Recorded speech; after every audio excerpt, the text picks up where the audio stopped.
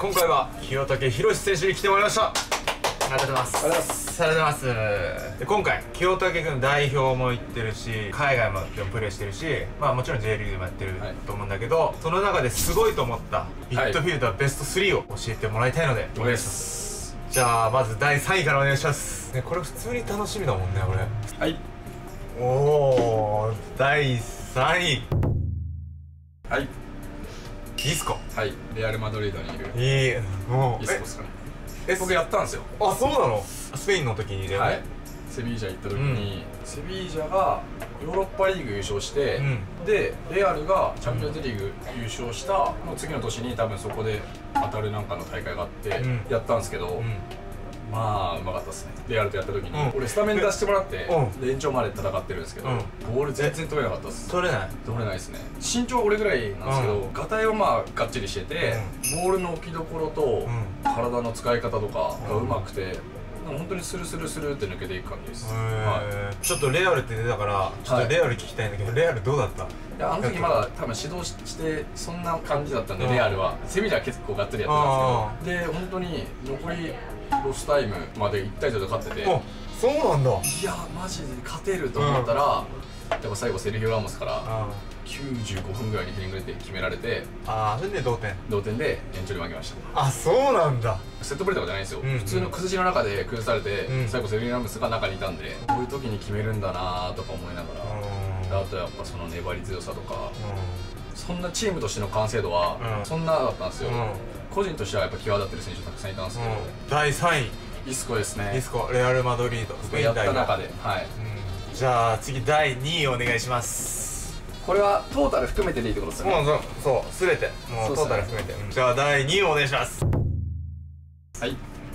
長谷部誠選手、なんか一番理想なキャプテンシーだったり僕も若い頃はうん。足元だったり、うん。技術とかをそういう選手だったんで、うん。まあ、イスコだったりとか、うん。そういう上手い選手をうん。あげようかなと思ったんですけど、うん今のそのトータル的にって考えた時に、長谷さんがパッて浮かんできたかなとは思います。なんか俺若い頃のさマコはさ、もうドリブルでこうからしいっすね。そうそう、はい。ドリブルで行くじゃん。そうですね。でその海外行ってからさ変わったそうらしいですね。全然変わってるからもう俺は多分そのハシさんしか知らないんですけどそうだよね。サッカー選手的にもうチーム引っ張る姿、ん。戦う姿とか、うん。でもう足元の技術もしっかりしてるし、うそういうのを考えた時にトータル的にやっぱハシさんが今までやってきた中で目標とする選手かなと。思いますんへえすげえ第2位です、長谷部誠選手です。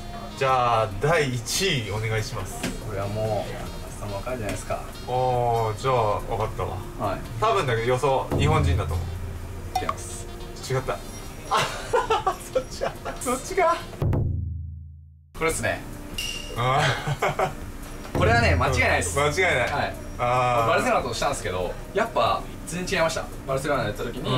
マジで違うなって思って、うん。こっちに来て日本でやって、うん。開幕戦も今年そうだし、うん。この前の神戸が1対0で勝った試合も、やっぱちょっと違いましたね。やっぱ技術とかやっぱそういうの見たら、ちょっと。まあまあまあまあ。多分一番わかりますね。てかやっぱすごいっすよね。えすごい。や思いましたもんマジで。イスコとかもすごいですけど、ん。もっとそれのボールの置く位置と、ん。緩急とん。相手を騙す動きがうまいなって思います。うん。相手の重心と逆をつくのが何気ない多分トラップでうん。かわしてると思うので、空間把握能力っていうんですか？ボールを落とす位置が絶妙だなと思います。うん古橋が走った裏とか、センターリングもそうだし、うん。ここに落とせばまあなんか起こるやろっていうのが、で俺がなんかなんか上から言うのはあれなんですけど、すごいなって思いますなんかと俺も動画でさ何回かベスト3やってさ、はい。アンデスを上げたんだけど、はい。練習でさ守備行くじゃん、はい。トラップでかわされちゃうっていうか、ついていけないの逆逆逆みたいな。全部逆っすよね。この前のアウェーでうん。行ったんですけど、俺は読んでたんですよ、うん。で読んでたんですけどその時はもう簡単に手でパンって押さえられたり、そういうのもイニエスタでこの逆つくとかじゃなくて、うん。パッて簡単に手で押さえて、うん。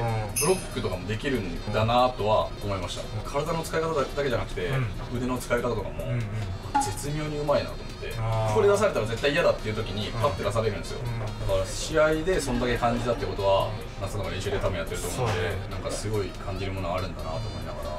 なんか試合だとねもう一個すごくなっちゃう。あれなんですね。そう練習より。練習よりなんか試合だともうなんか手がつけられなくなるっていうね。見た感じもそうだし。いやもう1位はもうこれイニエスタっていうのを決めてたんで。なるほど。